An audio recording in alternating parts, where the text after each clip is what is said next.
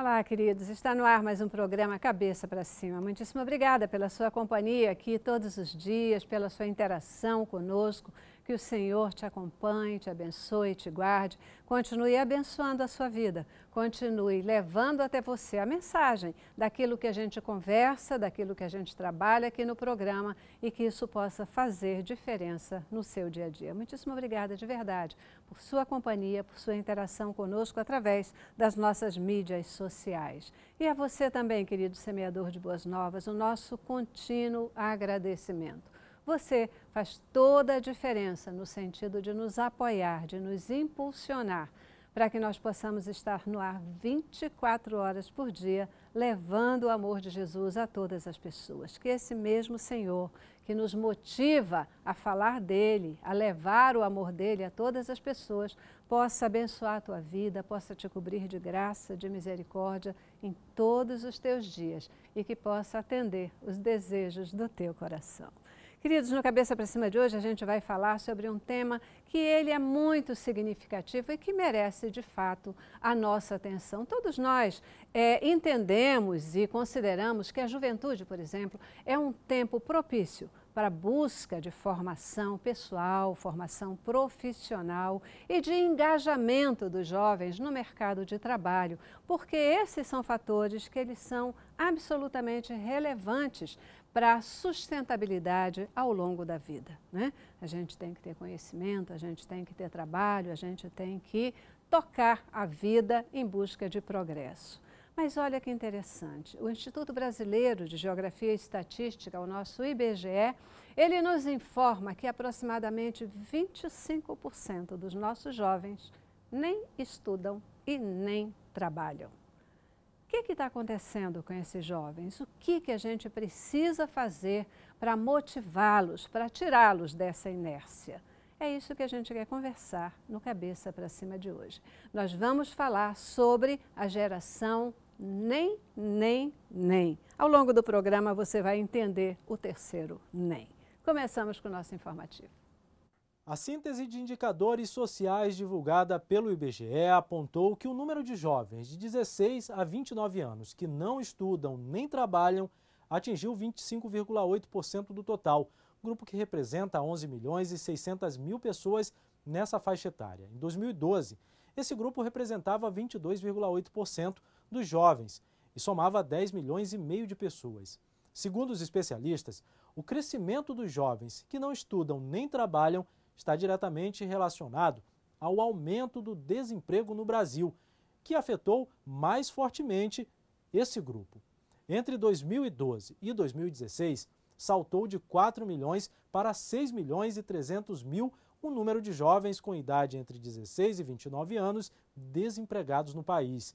Isso representa um aumento de 57% do contingente de jovens desempregados e revela um dos principais efeitos da crise econômica pela qual passa o Brasil. Pois é, né, gente? A gente está aí falando desses jovens que nem estudam, nem trabalham.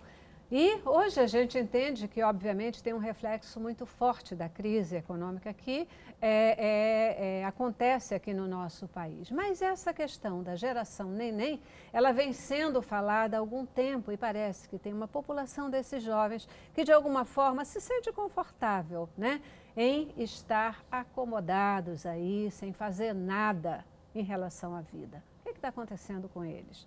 Como que a gente pode mudar esse tipo de realidade e motivá-los a se a, a, a, impulsionarem diante da vida. É isso que a gente quer conversar com os nossos especialistas aqui no Cabeça para Cima de hoje. Nós vamos falar sobre a geração nem, nem, nem. Está curioso pelo terceiro nem?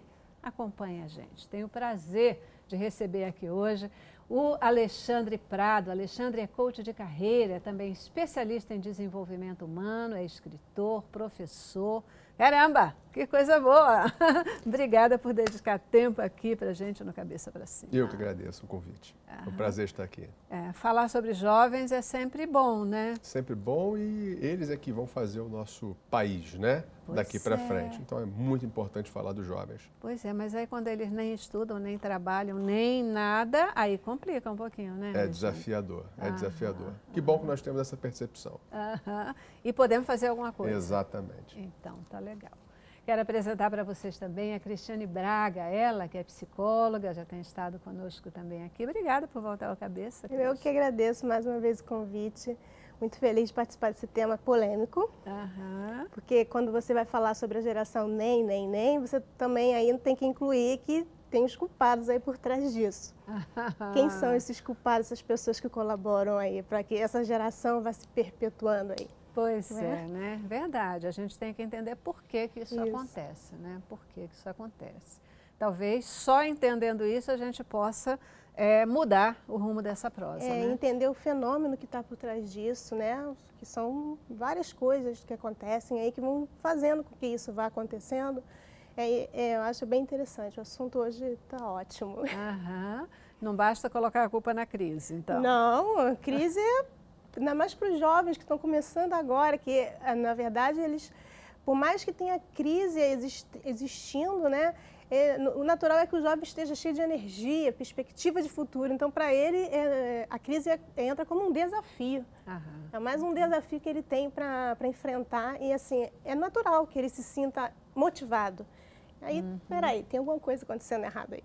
Então, tá bom. Vamos já, já entender essa história toda. Mas antes, Quero apresentar para vocês também o Sandro San, ele que é coach de negócios, também aqui com a gente hoje. Muitíssimo obrigada. Obrigado você pelo convite, Celeste. É um prazer estar aqui. Falando de um tema que é um tema tão, tão sensível, né? Que afeta todo mundo de uma certa forma.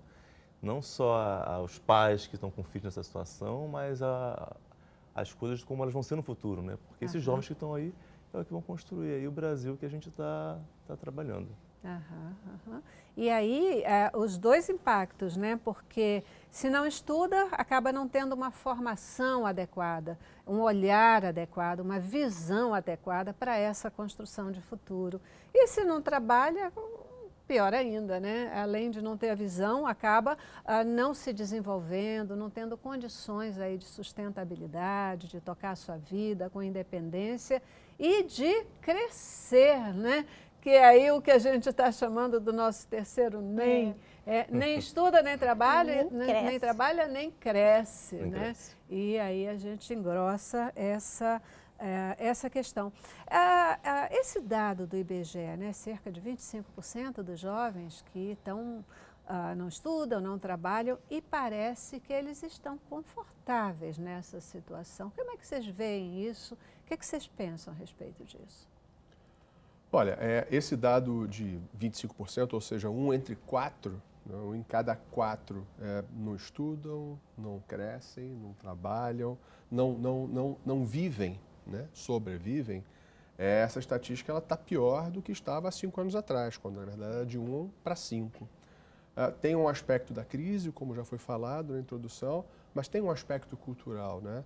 Esse jovem ele, ele vê uma vida fechada em si mesmado uh, na sua vida, no seu quarto, no seu ambiente seguro. Que jovens serão os novos adultos onde não se expuseram a desafios, a uma vida objetiva, aos aprendizados, às vitórias, às derrotas, aos fracassos. Uhum. Que, que adultos serão esses? Que adultos que criarão a próxima geração. Né? Então, a gente está falando daqui a duas gerações ou três. Então, o, o, futuro do Brasil, do país, ele fica muito uh, sensibilizado, porque uhum. realmente a expectativa não fica muito, não é muito boa. Né? Uhum, uhum. É preocupante, é preocupante. Né? Se hoje a gente, de alguma forma, até já sente um pouco desse reflexo de... É, é, a difusão de cultura, de princípios, de valores, né? A gente vê que o país aí sendo completamente impactado por uma questão de corrupção que afeta a vida de todo mundo, de todo mundo, né?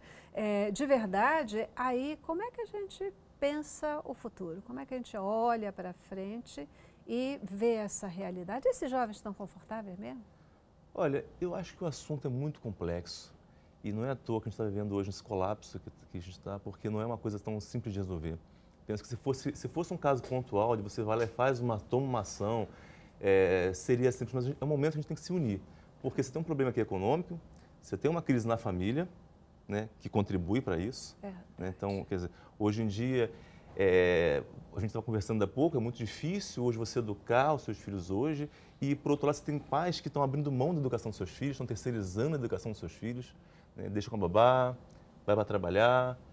Se você for pensar também, a gente está num momento em que boa parte desses jovens que estão aí fora do mercado também não estão tendo oportunidades hoje. Isso, isso é, a gente não pode ignorar Dado isso. De realidade. É uma é. realidade. E aí é uma, é uma coisa perversa, porque olha que coisa interessante. Muitos jovens, eu comecei a trabalhar cedo, e eu trabalhava e meu dinheiro ajudava em casa e meu dinheiro pagava minha escola. Né? E aí, se você, não, se você não tem trabalho, como você, o jovem que está, por exemplo, buscando a universidade, como é que ele vai estudar ah. também? Porque se ele depende do dinheiro dele para poder, eventualmente, pagar a escola dele e pagar também, ajudar com as despesas de casa. Então, eu penso que é uma crise muito complexa, que tem vários aspectos e é legal a gente estar aqui com especialistas de áreas diferentes, né? porque uhum. a gente pode unir, for, unir nossos esforços para poder trazer e pensar em soluções para esse problema.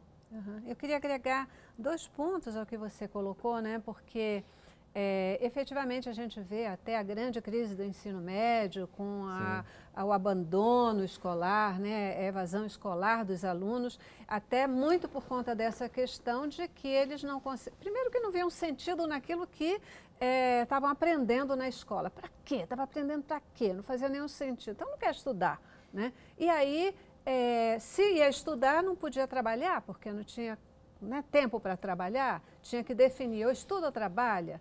E, de repente, pelo menos já se tem um olhar, já se está mexendo um pouco nessa história para cuidar da questão da política de ensino, que é efetivamente um ponto que pode ter um impacto violento aí nessa questão é, desses jovens, né? E o outro ponto que você colocou, a gente tem uma crise na economia, a gente tem uma crise na família e a gente tem uma crise de identidade, né? Identidade, porque hoje quer se dizer que é tudo igual, homem é igual mulher, a gente começa a ter uma confusão de papéis, qual é o papel de um, qual é o papel de outro, ninguém sabe mais para onde ir nem o que fazer e isso muitas vezes também gera uma paralisação, né? Afinal de contas, né? o que é que eu faço? Para onde é que eu vou? Como é que eu vou lidar com essa história toda? Então, eu vou primeiro esperar para ver o que acontece e como é que eu me identifico com qualquer dessas questões, né? É, para poder caminhar. É interessante você falando, né? Porque é uma crise de oportunidade, né?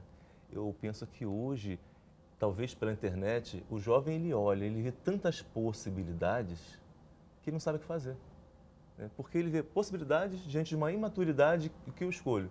Então, as profissões que antigamente eram aí tradicionais, antigamente era fácil, você vai ser engenheiro ou você vai ser advogado, né? ou vai ser médico. E aí hoje ele pode ser youtuber, ele pode ser né, é um instagramer, ele pode ser um, um cara que joga games e ganha dinheiro jogando. Então, são tantas possibilidades que esse jovem não, que não tem maturidade para escolher. E aí ele se vê, e, e isso é, um, é, um, é, uma coisa legal se trazer, né? Porque eles, ele olha tudo isso e fala, e aí, o que, que eu escolho? E na dúvida, né, com excesso de opções, a gente tende a não fazer nada. Né? Mas excesso de opções isso, paralisa. Isso que você fala, o que você está falando é bem, bem assim, bem, bem simples, porque é, ele vai ser youtuber, ele vai ser, fala as opções que você falou. Instagramer, isso. gamer. Ou seja, tudo virtual. O mundo real, para ele, ali não entrou. Né? Então, ele, tá, ele encontra saídas virtuais para entrar no mundo. E aí, o pai, a mãe, às vezes em casa, contribui para isso, porque tem medo do mundo que espera lá fora o seu filho, né? Não cria o que a gente chama de criar o filho para o mundo, ele fica com medo de criar esse filho e acaba contribuindo com isso, porque dá essas mordomias para o filho, né? essa facilidade, o quarto com, com telefone celular, internet, o videogame, né? É tudo uma, uma, é uma forçação de barra para que a criança, ou adolescente nesse caso já, vá vivendo de forma virtual. E aí uhum. o mundo real, que hora que ele vai chegar? Uhum. Essa batalha aí da vida. Não, parece que não vai chegar nunca. Uhum. Embora É, me parece que quando a gente está falando dessa geração nem nem, a gente nem está falando dos youtubers, dos, né? É, dessa, porque esses estão fazendo alguma coisa. Bem, aí, é uma atividade. É uma né? atividade, uhum. é uma forma de renda também, uhum. né? Porque isso uhum. tem algum tipo de remuneração.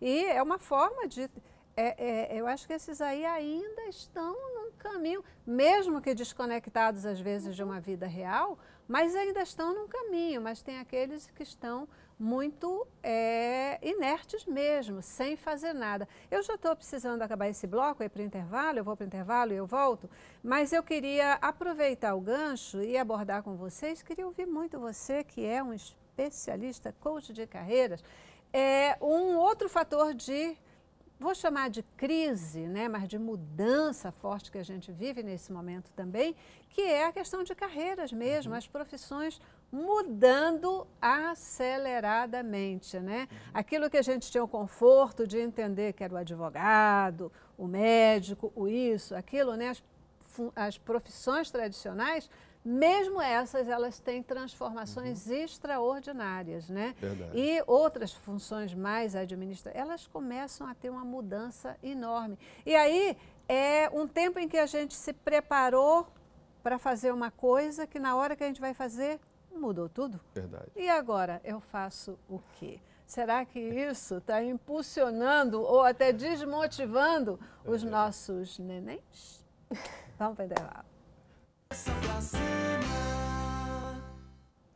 É isso aí, né? É um momento de muita mudança na sociedade, no mundo como um todo. De fato, a gente vive um tempo em que, quando a gente aprende a fazer uma coisa, já mudou tudo, né? A realidade já é outra, o que requer aí um processo de atenção contínua, de predisposição contínua para a mudança. E a gente fica assim, né? Por que, que a gente faz? Por que, que a gente, como é que a gente enfrenta é, é, essa realidade. É, com tantas mudanças, mudanças de carreiras, como estimular esses jovens a, a enfrentarem essa nova realidade? O interessante quando você faz essa pergunta é que é algo que permeia todo o nosso dia a dia, né? É, e não é só o jovem. É o nosso foco aqui, mas não é só o jovem. As pessoas de meia idade que descobriram que não querem ou não servem para uma determinada profissão. E aí, como fazer?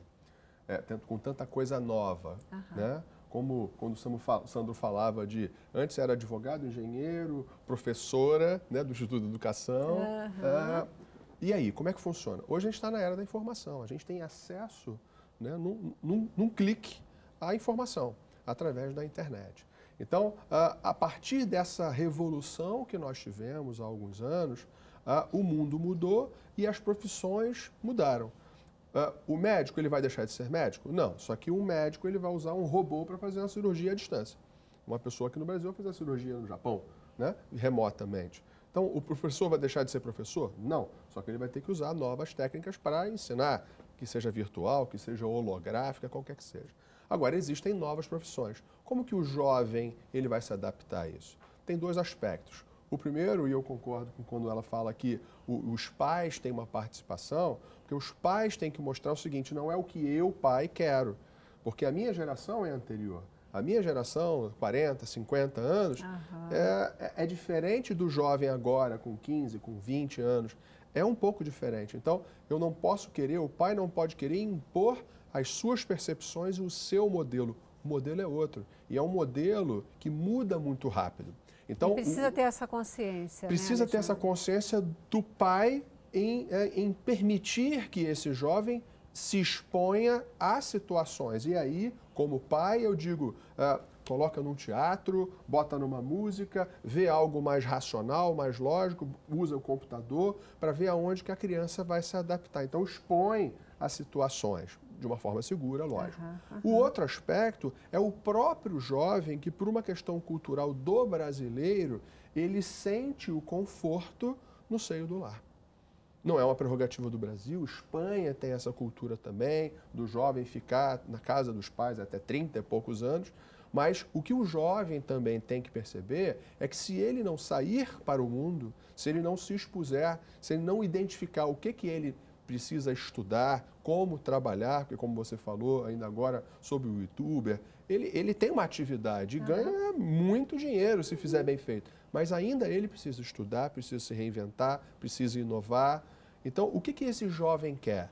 Acho que a grande pergunta é o que, que esse jovem deseja fazer com a vida dele? O que, que ele vai precisar? O que, que ele deixa, almeja para a vida dele em 30 anos? Uhum. Vai continuar na casa dos pais, mas daqui a pouco os pais morrem. E aí? Ah, vou herdar? É, mas e a renda? Enfim, qual é a felicidade? Qual o sentido de felicidade para esse jovem? Então a gente tem que levar também algumas questões mais reflexivas, que isso vai inspirar esse jovem também a, a buscar o seu caminho. Verdade. E até assim a gente poder ter uma, uma, um entendimento de que quando a gente fala assim, estar na casa dos pais, é, na verdade, a gente não está falando só da questão da moradia, né? Uhum. Porque esse jovem pode. Qual é o problema de ter 30, 40 anos e ainda morar na mesma casa que os pais? A questão não é essa. Uhum. A gente está uhum. falando é dessa relação de dependência, de, ah, eu moro aqui, estou confortável, não preciso me preocupar com pagar a casa, com é, as despesas do dia a dia. Para que, que eu vou estudar? Eu tenho tudo aqui, eu vou herdar, né? É, é, é, é, esse é o grande ponto, eu penso, da questão, né? É essa motivação de uhum. vida, de alcance de resultados, de, é, de projetos de vida, né? É, e eu não, também não estou falando aqui de ficar rico, de, né, de fazer fortuna. Não é isso, é projeto. Não, o conceito de, de felicidade vida, ele né? é subjetivo, ele é abstrato. O que é felicidade para um é ter conta bancária enorme, para outro é ter a conta bancária zero porque doou tudo. Então o conceito de felicidade ele é distinto, mas uhum. é o, aonde que esse indivíduo vai buscar essa felicidade, né? O que é felicidade para ele? Uhum. Eu acho que esse é o ponto. Eu acho que esse é o ponto. Ele, ele fica numa busca de uma coisa que que é idealizada hoje, que hoje em dia se fala muito em ah, você tem que fazer o que você ama. Né? E o jovem vai muito nessa coisa de fazer o que você ama. E ele chega com 16, com 17, eu tenho um filho adolescente, sofri, passei por isso, por esse, por esse processo. Meu filho ficava, olha, o que, que eu gosto? Diante do mundo, tantas possibilidades, o que, que é bom para mim? Uhum. E aí, o, que, que ele faz? Experimenta cada uma das coisas? E aí você não... Né? Que coisas existem para experimentar? É tanta coisa na cabeça dele que até você, eu, eu, eu penso que isso é um desafio para a gente enquanto pai, né, de você como é que você lida com com, com seu filho no momento em que ele está eventualmente até ali também que não, não, não consegue se decidir, não consegue fazer uma escolha, ou começa com alguma coisa, para no meio do caminho e volta depois. Tá? É, é isso que você está falando, é interessante. É, é, é, é, uma, é uma luta da gente, a gente enquanto pai, de, de poder lidar com essa situação. É assim, é claro que tem aquele caso do adolescente que está em casa que não quer nada, nada. da vida e está acomodado e está lá. E, e, isso, é um, isso é um caso. Tem o caso do adolescente, por isso eu falei que é complexo, porque tem o caso daquele que está querendo alguma coisa, mas não sabe o que escolher, porque é muita opção, então o que, que eu faço? Vive um tempo de angústia. Um tempo de angústia, né? um tempo de angústia. Você vai, se a gente olhar a estatística, isso não é muito divulgado, mas se você for olhar, suicídio de adolescentes é uma coisa que vem crescendo, né? E isso, no meu entender, vem muito por essa angústia de saber o que eu faço, o que eu amo, porque de alguma forma alguém disse para ele que ele tem que escolher o que ele ama. E a gente, no nosso tempo, a coisa não era tão bem assim, né? Eu, eu, eu, sou daquele que eu acho que você tem que aprender a amar o que você faz, né? E todo mundo que faz o que ama vai ter algo que você não ama que você tem que fazer. Uhum. É, até porque eu acho que esse é um conceito de vida. É, eu concordo, a gente tem que fazer tem que buscar fazer o que a gente gosta. Quando a gente faz o que a gente gosta, com certeza a gente vai fazer melhor e tal, né? Mas é, a vida está aí, ela precisa ser vivida e às vezes você tem que começar por algo que nem é aquilo que você é, tem como meta final de vida, mas você tem que fazer para se alavancar. Claro. Né?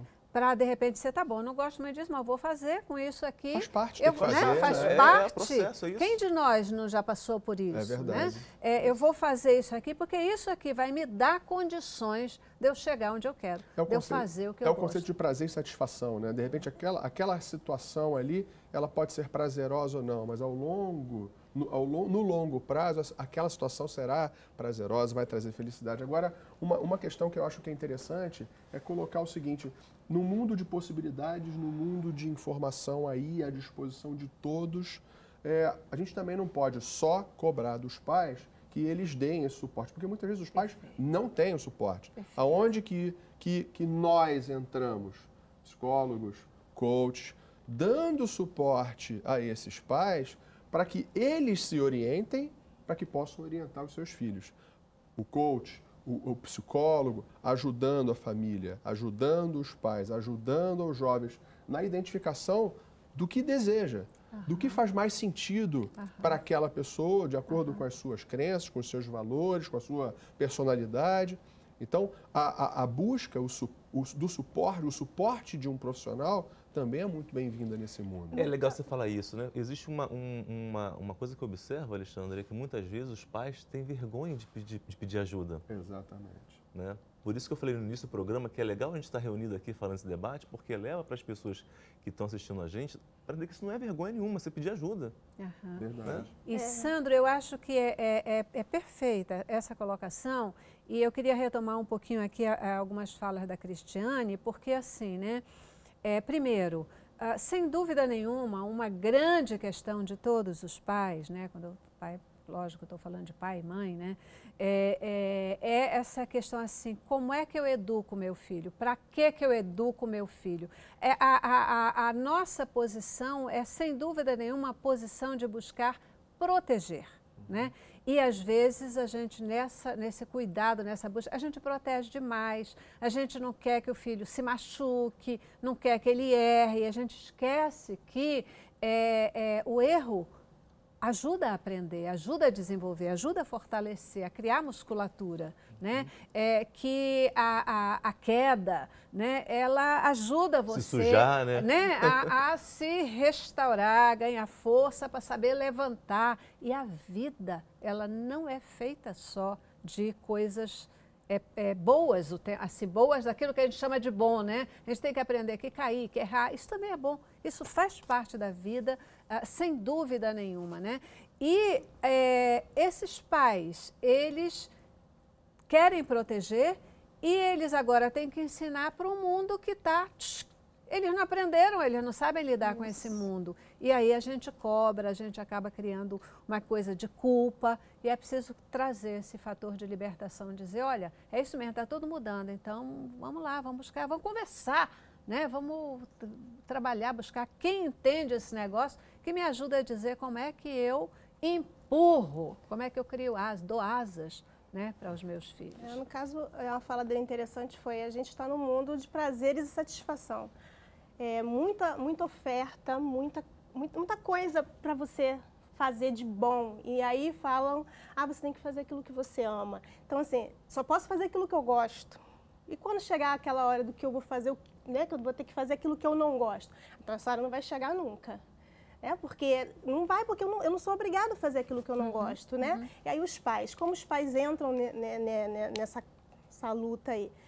é, conforme eu, eu comentei, é, os pais têm que entender que eles estão ali educando filhos para o mundo.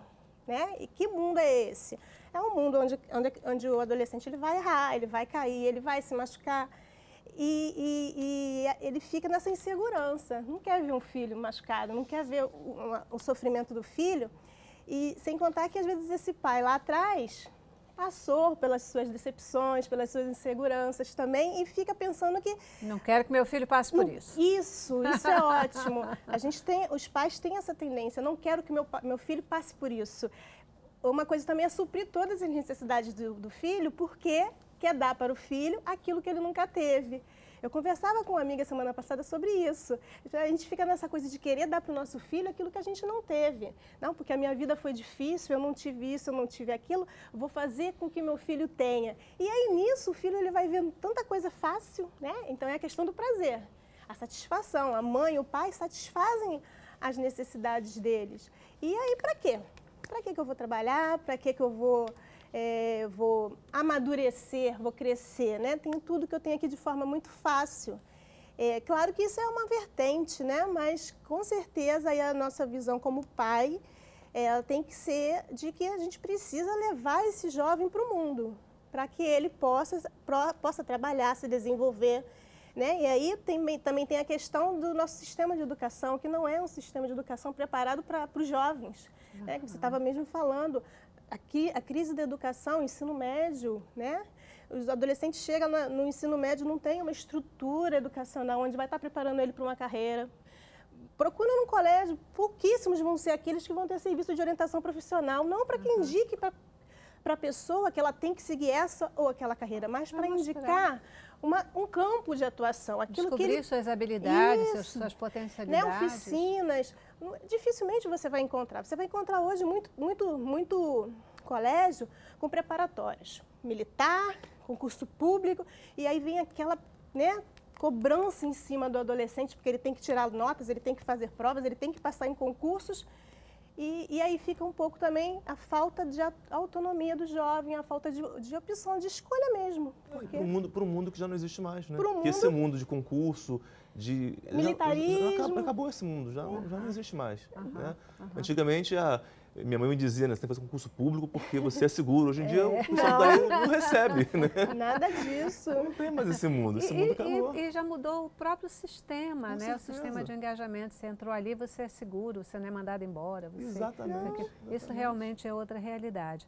E aí, gente, eu preciso encerrar esse bloco, a gente vai para o intervalo e eu queria voltar é, conversando com vocês sobre soluções, alternativas de solução. Como motivar esses jovens? Como estimulá-los a sair desse nível de inércia, né?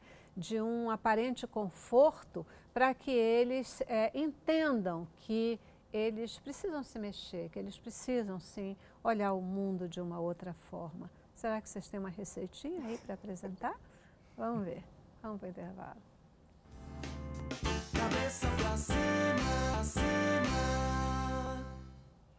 Isso aí. E aí, você tem um neném em casa? Tem? Ou você é um neném? Mas você está confortável com essa situação ou você está naquela angústia de que não sei o que fazer, não gosto dessa situação, mas não sei sair dela?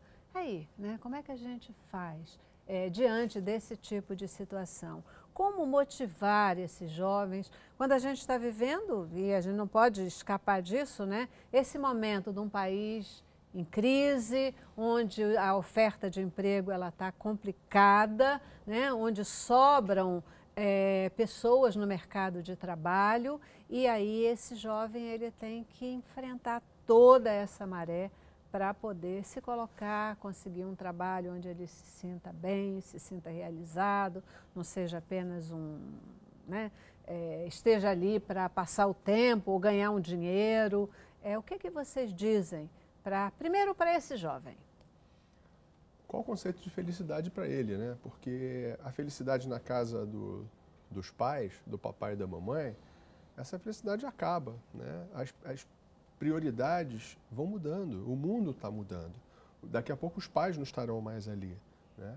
É, o que, que, é, o que, que ele espera para a vida dele? Quando ele for pai, se ele for um dia, é, pai e mãe, é, o que, que ele espera mostrar e oferecer para os seus filhos?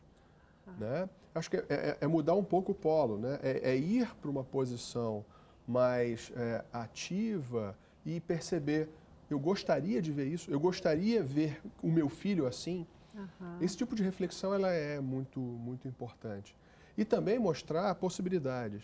É, eu, eu, penso que é, existe uma frase que eu gosto muito, que é na adversidade que a gente encontra possibilidades, as oportunidades. Então, apesar do mercado de trabalho hoje no Brasil, ele está um pouco mais recessivo, a gente tem um número grande de desocupados, mas é nessa hora que as pessoas devem buscar exatamente se capacitar, se diferenciar, porque essas pessoas hoje que vão investir nelas, aproveitando talvez metade do tempo que fique numa rede social para estudar, para ver um vídeo, para assistir um vídeo, para ler um livro, porque a informação está aí disponível, ela vai se diferenciar da grande massa. E, infelizmente, a gente vive, nos, principalmente, principalmente nos grandes centros, a gente perde muito tempo no trânsito, Verdade. Então as pessoas devem buscar, esse jovem, ele deve buscar um motivo para viver. Se para ele não é talvez o trabalho tradicional, de carteira assinada, talvez empreender em algo que ele ache bacana. Uhum. Se não é empreender, é, vai fazer um trabalho voluntário para perceber como é que ele se integra no mundo,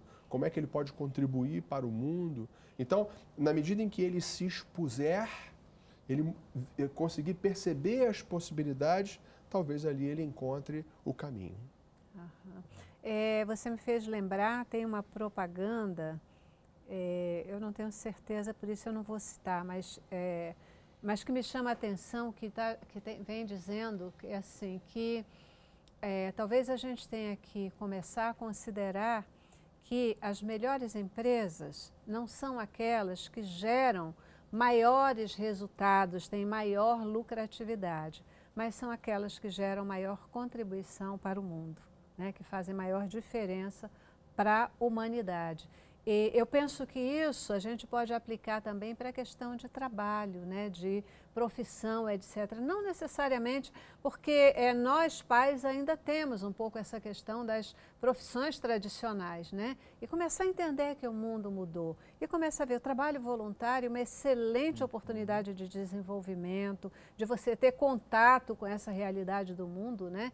E efetivamente gerar contribuição significativa. É, e curiosidade, na medida que, ele vai, que o indivíduo vai fazer um trabalho voluntário, ele vai sentir necessidade de adquirir algumas capacidades e vai estudar uhum. e vai transformar aquilo num trabalho, ainda uhum. que seja em prol do outro. Então essa interação com o mundo, ela é fundamental para que esse jovem perceba que é lá fora que está a felicidade dele, que é ali que ele, ele vai deixar de ser o, o nem, nem, nem, né? quando ele encontrar um propósito. Acho que a palavra principal é quando ele encontrar o propósito dele. É. Uhum. Porque nem estuda, nem trabalha e nem cresce, né?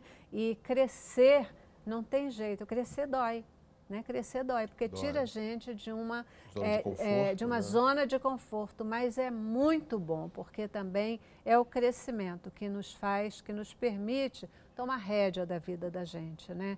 poder é, é seguir caminhos, escolher é, alternativas diferenciadas, correr risco. Né? Se não crescer, for para crescer, por que, que a gente está aqui? É né? isso aí, crescer e, faz bem. E contribuir com o mundo, conforme a Celeste estava falando. Né? Hoje a gente Hoje a gente tem que pensar nisso. Você está aqui para fazer a sua parte, que é contribuir com o mundo, que é contribuir com ajudando de alguma maneira, né? Uhum, e assim, uhum. mesmo que você não vá fazer uma, um serviço voluntário, mas procurar um trabalho que de alguma maneira você vai estar contribuindo e aí uhum. pensar nisso. Uhum.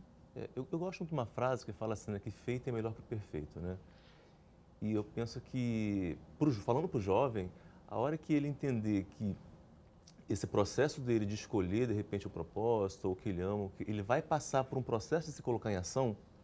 Quer dizer, não adianta eu ficar aqui parado tentando identificar nos meus pensamentos o que realmente eu gosto. Eu tenho que ir para a prática, eu tenho que fazer coisas e, e ver na prática, na vida real. Tem que sair da inércia. Né? É, eu tenho que sair da inércia, eu tenho que ir lá e me colocar em movimento. Eu vou lá e fazer um trabalho que muitas vezes pode não ser aquele trabalho que eu acho que vai ser o trabalho da minha vida, mas vai ser um trabalho que vai me permitir, de repente, conhecer outras pessoas, vai me permitir experimentar, desenvolver uma nova habilidade, aprender a falar com outras pessoas, aprender a apresentar, ter um pouco menos de timidez, enfim. Mas, vai, mas são, são é, parte, é parte de uma jornada que eu preciso fazer até para me descobrir. Aprender, né? a, Até descobrir. aprender aquilo que ele não gosta de fazer. Vai fazer aquilo que ele não sabe ainda e aí ele vai perceber, eu não gosto disso, isso não é para mim. E aí ele vai encontrando um caminho. Né? Uhum. Mais ou menos isso. Ele falou um ditado popular, ele falou outro. Eu vou falar o terceiro aqui, eu percebi isso. É, é, dentro dessa temática, tem um ditado que fala assim: mar calmo nunca fez bom marinheiro. Mar calmo, mar é, calmo, mar calmo nunca fez, mar, é mar calmo nunca fez um bom marinheiro. Então, se está muito calmo, se está muito cômodo, vai dar problema lá na frente. Isso é zona de conforto, né? É, é, não sair da zona de conforto. É, essa inércia, né, que muitas vezes é, é que a gente está vendo aí de forma significativa atacando os nossos jovens, pode ser doença? Em que momento dá para a gente perceber que essa apatia ela está se, tá se tornando patológica? Pode, pode, porque pode ser depressão. É, a questão que ele falou do suicídio, o jovem se suicida muito por questão de depressão. Ele não vê sentido na vida, a vida para ele não tem cor, digamos assim, né? não tem significado, ele não consegue se encontrar. É, o mundo exige tanto, o mundo exige tanto dele, que ele não consegue perceber qual é o papel dele ali. Né? Não, não, não tem um significado. É, recebo muitas pessoas é, reclamando disso em consultório, muitos jovens é que não tem sentido para a vida. Ah, eu tenho, às vezes eles falam mesmo, eu tenho tudo. Eu não tenho do que reclamar. Eu, eu tenho, eu tenho, minha mãe me dá o que eu quero, meu pai me dá o que eu quero, mas mesmo assim eu não sou feliz. E eu não sei o que eu quero da minha vida. E a pessoa sofre, porque isso é um sofrimento muito grande, é uma dor muito grande que a pessoa tem, porque é a angústia de não saber quem ela é, de não saber o que ela está fazendo ali. E a, a, essa fase da juventude é muito propícia para isso acontecer, né? Que é a fase onde ele está se transformando, se encontrando como pessoa, criando a sua autonomia. Uhum. Né? Então, assim, existe sim essa possibilidade de ser a depressão, tá? E aí, nesse caso, o jovem precisa de ajuda psicológica, às vezes vai precisar de ajuda psiquiátrica com medicamentos antidepressivos.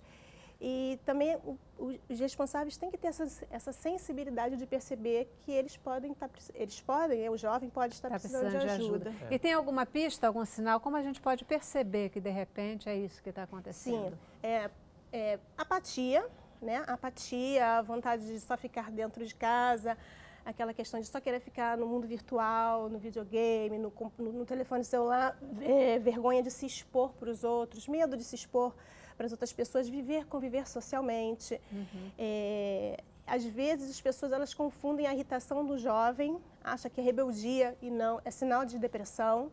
Tá? Ele, ele, ele, é a forma que ele tem de reagir às coisas que não estão dando certo, que estão irritando ele, ele vai reagir com irritação, com rebeldia mesmo.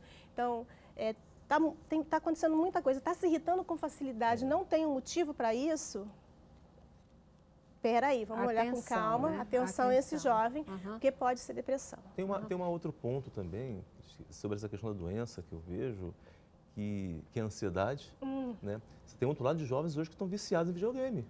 Eles viram a madrugada jogando videogame, acorda jogando videogame, não sai do quarto, está ali.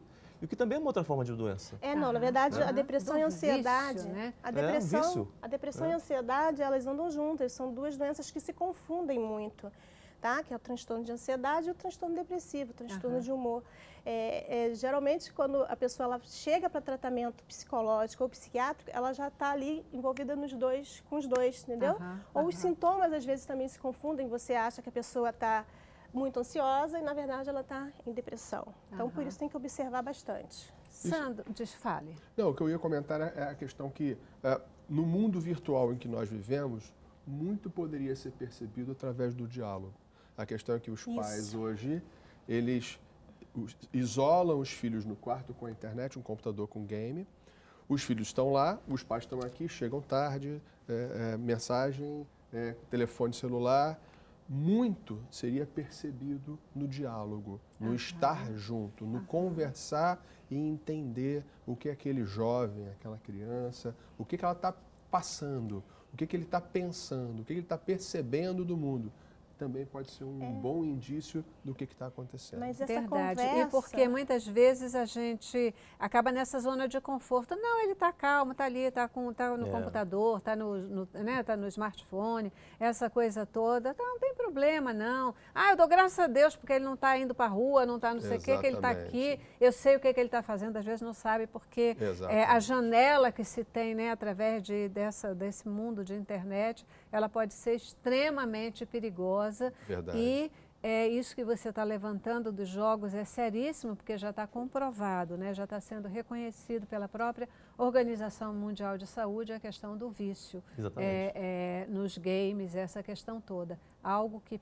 precisa de atenção e precisa de alavancagem para. É Quando você começa a perceber que o seu filho deixa de fazer coisas, deixa de estar com a família, não quer mais ir para um passeio com, com, com a família, não quer ir no almoço de família, não quer falar com ninguém, não quer falar com os amigos, porque ele vive internado naquele mundo ali totalmente virtual, né? O game ele traz muita adrenalina, né? Quer dizer, tem aquela coisa que toda hora está acontecendo uma coisa nova. É como se ele estivesse vivendo. Né? Outro dia eu fiz uma experiência, não sei se você já usar aqueles óculos virtuais, né? Uhum. Eu coloquei um óculos daqueles na montanha russa. Você fica tonto, você se sente, né? E aí você para pensar, cara, eu estou sentado né, na cadeira da minha casa e estou sentindo aquela emoção como se eu estivesse lá descendo a montanha-russa de 200 metros. E é, esse, e é isso que está acontecendo com esse jovem hoje que está internado dentro de um quarto, jogando videogame, vivendo uma vida de aventuras sem sair do quarto. Uhum. E é uma vida de aventuras virtual. virtual. Certamente a emoção seria muito maior se ele pudesse descer uma montanha russa de claro, verdade, né? Verdade. Pudesse e tal. É, eu já preciso para o intervalo, vou para o intervalo e volto já já, mas eu quero te provocar. Você estava comentando ainda há pouco sobre essa questão da exposição dos filhos, né? Uhum. Da exposição dos filhos. E é, não, mas vou para o intervalo, aí eu volto, volto com essa questão que eu achei bem interessante. Vamos lá. cabeça pra cima. Isso aqui, né? Provocando você para sair da inércia. Você, se você é o neném, ou provocando os próprios pais a ajudarem seus filhos que não estudam, não trabalham e, consequentemente, não crescem a saírem dessa inércia e se tornarem adultos, porque isso é importante. Você estava comentando nessa questão é, que a gente faz mesmo, a gente, mecanismo de proteção, não quer expor os filhos, é, é, porque acha que assim está ajudando ele, mas você disse que você acha, pensa diferente, ou age diferente, né? Eu acho que a gente tem que expor, até porque eu, eu, eu tenho como princípio que se os pais não expuserem os filhos é, para o mundo, como ela comentou ainda agora, é, realmente vai ficar uma situação mais complicada. Por quê? Se os pais fizerem e o farão com amor, eles vão tentar fazer o melhor com amor para expor num ambiente até mais controlado. O mundo, ele não faz com esse amor. O mundo, ele, ele, ele tem situações. O mundo real, ele é mais drástico, ele machuca, né? Não que o machucar, como você comentou, não faça parte da nossa evolução. Faz parte sim. Mas se esse jovem não tiver o mínimo de capacidade de assimilar as, as pancadinhas que recebe da vida, uh, e ele vai conseguir isso em casa. Então os pais devem expor sim. Uh, eu quero um copo de água, levanta e vai pegar.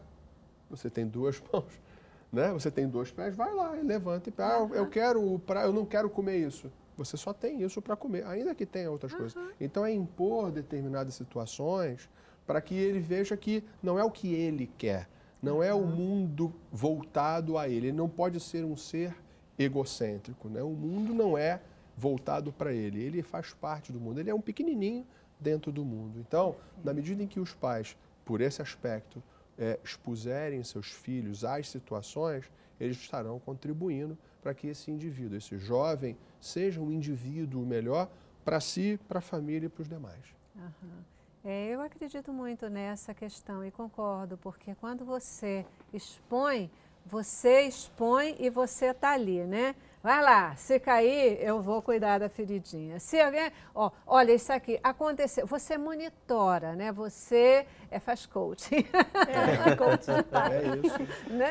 É, é, e tal. Agora, quando ele vai para o mundo sem esse suporte, aí essa pancadinha ela pode virar uma coisa profunda, uma uhum, mágoa que uhum. não se cura, né? um fracasso que vai pesar, que vai é, é, soar como incompetência. E aí sim, isso é paralisante. É. Aí sim pode ser muito paralisante. Tem outro lado disso né? também que é, que é legal. Eu também sou partidário dessa mesma filosofia que é hoje muitos pais não querendo proteger seus filhos acabam criando filhos que não sabem lidar com a frustração. Exatamente. Né? E a gente vive num mundo onde você o tempo inteiro tem que lidar com a frustração. E esse, e esse jovem que não sabe lidar com a frustração, quando ele começa a trabalhar, por exemplo, ele vai para um trabalho. Se o chefe dele falar alguma coisa que ele não gosta, ele sai irritadinho e vai embora. É verdade. Uhum. Né? Uhum. E, e, e, que, que é, tem um outro problema hoje que a gente vive, que é os jovens não param nos empregos. Uhum. Né? As empresas que contratam jovens dessa faixa etária têm uma tremenda dificuldade, porque eles contratam, o indivíduo fica lá dois, três meses e vai embora porque alguma coisa ele não gostou, não gostou da cor aqui do, do ambiente, alguém falou com ele, achou que já foi ofensivo, e ele vai embora porque ele não foi criado sabendo lidar com as dificuldades, com as frustrações da vida. Para assimilar as adversidades. Para assimilar a adversidade. Né? É, porque viver, com, aprender a lidar com as frustrações é saber que nem tudo vai dar certo na sua vida e que nem tudo, na verdade, na maioria das vezes, as coisas não vão dar certo e que essas coisas que vão dar errado que vão te fortalecer para que você aprenda a fazer certo lá na frente, aprenda a fazer o que você goste, que você gosta de fazer e aprenda a lidar com as pessoas, porque é, conforme ele falou, o mundo vai te dar pancadas que vão te do, vão doer muito. E, e, se você não estiver preparado para essas pancadas, você pode receber uma que vai te abalar de tal maneira que você vai levar para o resto da sua vida problemas aí comportamentais, é emocionais. Uhum. É verdade. E é isso. E aqui a gente não quer desestimular ninguém a interagir com o mundo virtual. O mundo virtual ele é maravilhoso.